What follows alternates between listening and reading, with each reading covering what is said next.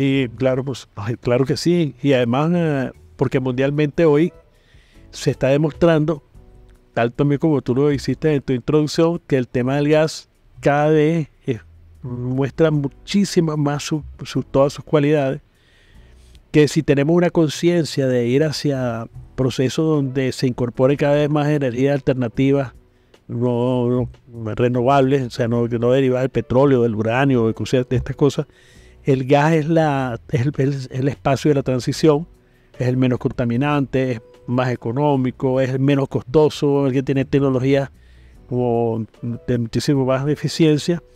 Eh, y ese campo está abierto no solamente en Venezuela, sino también en todo el mundo. O sea, hay espacio mundial. Para se están dando pasos como el proyecto que se acaba de, reiniciar, porque ese proyecto también tiene varios años, el proyecto Dragón, que es el convenio con Trinidad y Tobago. ¿Crees que eso es una buena señal? Que hacia allá pudieron dirigirse los esfuerzos para explotar el gas venezolano. Este, ese espacio es el espacio de la, del encuentro con las transnacionales.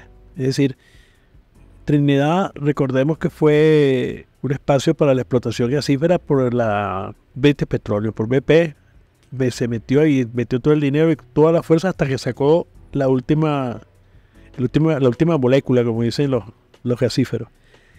Hasta que se quedaron los pozos, se quedaron y ya entonces no había gas fue un mal momento porque en este momento el gas licuado en el mundo otra vez empieza a agarrar un espacio, a pesar de que Estados Unidos copó los mercados más, más ricos, los, más, mercados europeos, al, destruir eh, el, Nord Stream y el, el 1 y el 2, quedó Estados Unidos con el monopolio del, de la, del suministro del gas licuado Europa, pero quedan los mercados, inclusive mercados estadounidenses, porque Estados Unidos el libre mercado le permite vender el, gas licuado a Europa que se lo pagan el doble o el triple y se queda Estados Unidos sin gas. Paradoja en capital. Pero así es.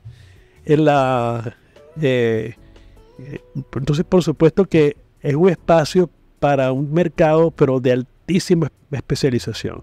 Es un mercado donde no podemos entrar sin las transnacionales. No puedes competir ahí sin son mercados que están... Pero el mercado gasífero normal, por ejemplo, la idea que tenía el presidente Chávez de meter un poliducto que fuera a tener al Pacífico.